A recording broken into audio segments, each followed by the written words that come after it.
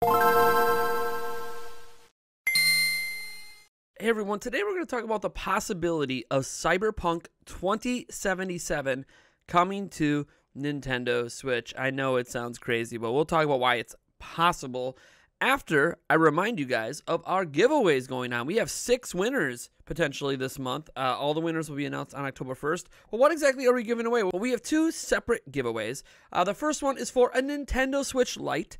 That's the grand prize. And then two second place winners will get a game of choice on Switch. To enter that, go down into the description, uh, and there's multiple steps there and multiple ways to enter to maximize your entries, uh, including joining our Patreon at patreon.com slash Nintendo Prime for as little as $1 a month, and then you'll get additional 15 entries into that giveaway. And our second giveaway. So the Patreon gets you into both. Our second giveaway is for three copies of Super Mario 3D All Stars, baby. We're giving away three copies of that game in a separate giveaway. There's a gleam.io link for that, as well as the additional entries from Patreon. So I wish all of you guys luck, and uh, let's get into this video. See, CD Projekt Red is widely considered one of the best game developers in the world right now. Uh, throughout this video, you're just literally watching cyberpunk footage that they have put out there uh, over and over and over again this year, various events. Uh, and the game looks absolutely incredible. It, it looks like something that is next gen, if we're completely honest. Even though it's coming out on PlayStation 4 and Xbox One and PlayStation 4 Pro and Xbox Series X, it's also going to be releasing, you know, probably better updated assets uh, for the Series X and well, the PlayStation 5. And they did say, they've said several times publicly that the PC version of this game and the PC version of all of their games will always be the best looking version. That's not too surprising, although there are cases where some people that bring their games over to PC hold it back for consoles. CD Projekt Red is not a company that does that. Now, they had Cyber Inter- uh, Saber Interactive in the past bring Witcher 3 in 4K to PC, and they did a fantastic job doing that. And Saber Interactive is the company that brought Witcher 3 to Nintendo Switch, aka the Switcher. They made that version of the game, and it's widely considered one of the best AAA port jobs to Switch in the entire industry. I mean, we, we've seen uh, Panic Button and, and, other companies do a fantastic job uh, porting things to Switch, but The Witcher 3 is the most impressive Switch port to date, and that was done by Saber Interactive, a company that works closely with CD Projekt Red to provide their games on other platforms that they are not currently developing the game for, typically handling PC ports and all of that jazz. So, uh, Cyberpunk's going to look fantastic. It's going to look next gen. It's going to look like something that isn't possible on Switch. But I'm going to give you one big reason why it might come to Switch anyways, even if obviously we're talking a year from now. It's not going to be there at launch. We're talking about next year. And the reason is because of something that recently happened. I actually put it up on NintendoPrime.com. Uh, for those who don't know, NintendoPrime.com is the uh, official website of this YouTube channel uh, where we put up news uh, uh, and, and, occasionally articles, but usually news uh, that we might not cover necessarily on the YouTube channel, including the news we do cover at the YouTube channel as well. But uh, we, we put up a, a, few extra stories there a day that aren't uh, reported here just because it's impossible for me to keep up with all of the news in a video format um, in a way that is sufficient.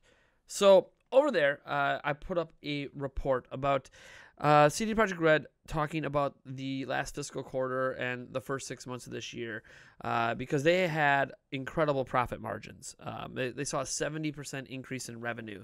And they actually credited The Witcher 3 and Switch. Here are the exact words. So, CD Projekt Red Group posted 364 million PLN in sales revenue for the first half of 2020, which is a nearly 70% more than the corresponding period in 2019. So, 70% increase over the first six months of last year. Notice that they didn't really have anything major release in that time. Compared to the first half of 2019, the group's net profit increased nearly threefold, reaching 147 million. So this is after everything that's their profit margin. This improvement in our earnings compared to the past year is due, among other things, to unceasing popularity of The Witcher 3, including excellent sales of its Nintendo Switch Edition, as well as releases from other games in the Witcher universe on new hardware platforms. The late 2019 Gwent was made available to users of iOS devices, with the Android release following in the first half of the current year. We are we've also released Thronebreaker for Nintendo Switch. The mobile editions of our games, another first among us, have met with very positive reception among gamers, etc. So essentially, they released some mobile games, including some on the Switch. But The Witcher 3 is mentioned specifically with the sales of the Switch edition. They didn't mention the Witcher 3 sales on any other platform. It's the Switch edition that's blowing up. Now, we know back in April it sold around 700,000 copies on Switch. That was back in April. As of now, it's been a few months. You know, it could very well be over a million if that sales trend has continued. And obviously, we know the Netflix series on Switch or on, on the Netflix series of The Witcher probably helped the sales uh, a little bit as well. So, uh, yeah, and there's a new season coming, so the sales could just keep going uh, as the Netflix series continues. Now, the reason I bring this up is because this is no small feat on Switch. I know we're not talking about, you know, two, three, four million, but CD Projekt Red is developing a reputation for providing excellent games no matter what platform they put it on.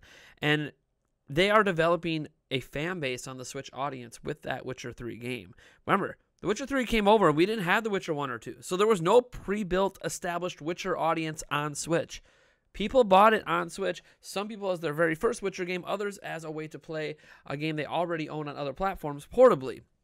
So they need to look at this as a potential audience for Cyberpunk 2077. And I know there are some caveats we have to mention. Cyberpunk 2077 is not made on the same engine as The Witcher 3. Well, sort of. The Witcher 3 is made on their Red engine.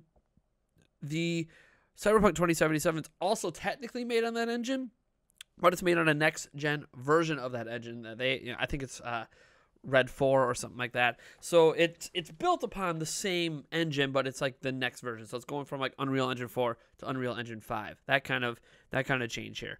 And Saber Interactive uh, has not worked uh, with that engine on Switch to try to get it to run. And you might be like, well, why did they change engines? They talked about all this over the over the past year or two, why they had to switch engines. You know, going back to 2018 about um, some of the verticality they wanted in the game wasn't necessarily possible, and, and the way they wanted night to work wasn't possible. And obviously, we know Cyberpunk 2077. You're seeing it on the screen. It looks like this would, if there's ever a game impossible to run run on Switch, it would be this. But that's what we thought about The Witcher 3. So I, I propose to you that dial back just right.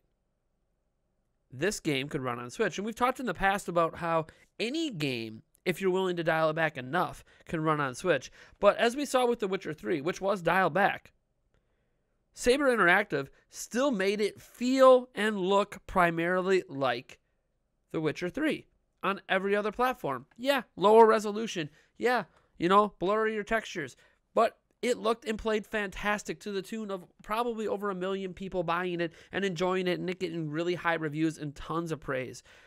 With Saber Interactive, kind of in the back pocket of CD Projekt Red for something like this, it's entirely possible that this game could come to Switch because CD Projekt Red's not going to want to bring Witcher 3 to Switch, have it sell incredibly well. I mean, their, their own words, you know, their own words of how excellent the sales were for Switch. Why would you want a one off for that? Why would you not want to bring your next game to that platform? Now, obviously, Cyberpunk 2077 was not developed with Switch in mind.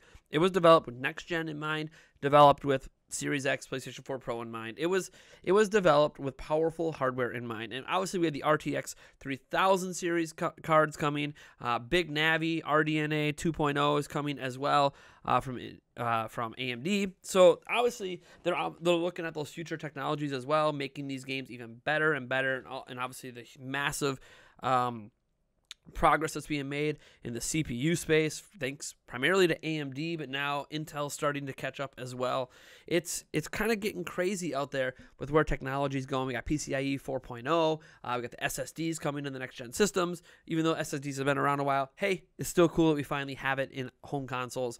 I do feel that CD Projekt Red is going to bring this game to Switch. It's, it's it's like this gut feeling I got. Because if they are this happy with the sales of Witcher 3 on Switch, why would they want to stop? Sure, you might say, well, they could just bring Witcher 1 and Witcher 2 over. Yes, that's a good start, but is that where the buck stops? Because Witcher 3 was their most recent like AAA release when it came to Switch. People are going to love Cyberpunk. They're going to play the hell out of Cyberpunk. And a year from now, especially since remember, The Witcher 3 had a key feature, a key feature that really mattered. Cross saves with PC. If they can somehow get cross saves to work on PC, PlayStation 5, and Xbox Series X, and they can make that work with Switch, or hello, a next gen Switch, are we going to forget that Bloomberg has put out there that there is a 4K capable, likely through RTX core, likely through a new Tegra chip, likely through DLSS 2.0 Switch with a better screen and all that coming next year? Are we are we forgetting all the reports about a Switch Pro or a next gen Switch, something coming that supports 4K? This is Bloomberg. Now, this isn't some some mom and pop shop throwing out, you know, speculation to the wind. This isn't some YouTuber spouting a bunch of nonsense like Nintendo Prime here. This is literally a legit outlet in Bloomberg stating that a 4K capable Switch is coming next year. And again, for those that, that think that's just impossible, DLSS 2.0 has been proven to be able to take a 720p image and make it almost indiscernible to the naked eye over native 4K. So it can upscale 720p to 4K so well that you can't tell the difference between native 4K and DLSS 2.0 4K. That's the kind of tech that keeps Switch right in par with everyone else without needing the same power to natively hit those resolutions. Crazy, crazy world we're living in, right?